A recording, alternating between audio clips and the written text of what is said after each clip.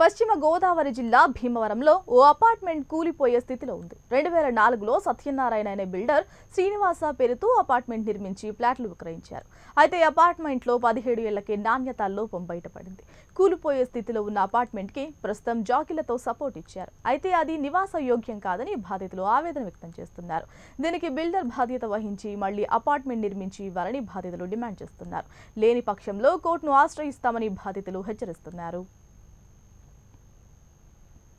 Construction చేసి వచ్చి అయింది సుమారుగా ఎంతంటే పదిహేడు సంవత్సరాలు మాత్రమే అయింది ఇది.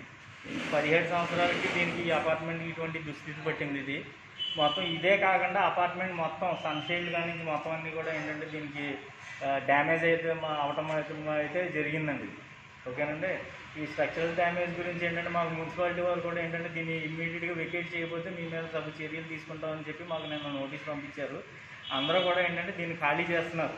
ఇందులో వచ్చిన సమస్య ఏంటంటే బిల్డర్ గారి యొక్క స్పందన అయితే మాకు అంతంత మాత్రంగానే ఉంది తప్ప దానికి ఇమ్మీడియట్గా అది ఇది ఎంత సివియర్గా ఉందో దానికి సంబంధించినంతగా ఎక్కడ కూడా వారి దగ్గర నుంచి మాకైతే మటుకు ఎక్కడ స్పందన అయితే ఎక్కడ ఏం కనపట్లేదు అక్కడ ఉన్నటువంటి ఓనర్స్ అందరికీ కూడా వికెట్ చేయమని ఇమ్మీడియట్గా వికెట్ చేయండి అని చెప్పి నోటీస్ ఇవ్వడం జరిగింది.